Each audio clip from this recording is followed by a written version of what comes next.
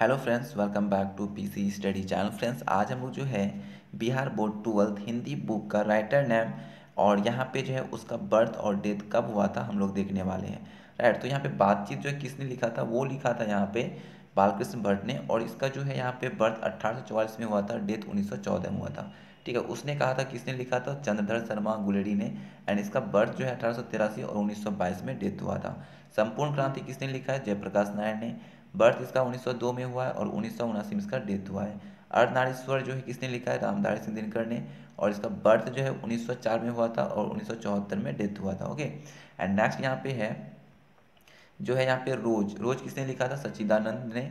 And इसका birth जो है यहाँ पे 1911 और डेथ जो है उन्नीस सौ सतासी में हुआ था। एक लेख और एक पत्र जो है भगत सिंह ने लिखा था एंड इसका बर्थ जो है 1907 एंड डेथ 1931 में हुआ था।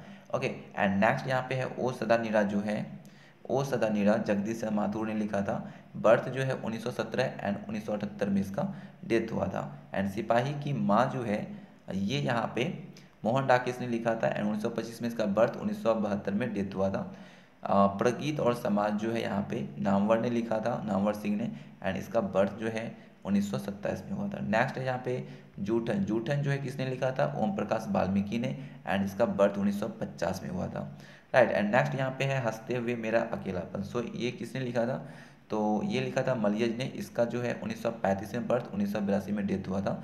एंड यहाँ पे त्रिज किसने लिखा था? उदय प्रकाश ने, और इसका बर्थ जो है उन्नीस सौ बावन में हुआ था।